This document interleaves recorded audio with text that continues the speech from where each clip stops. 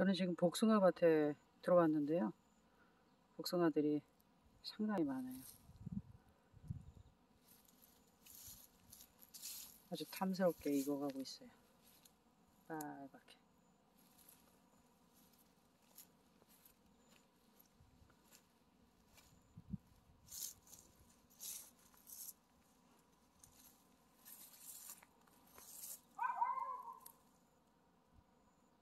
여러분들도 드시고 싶죠?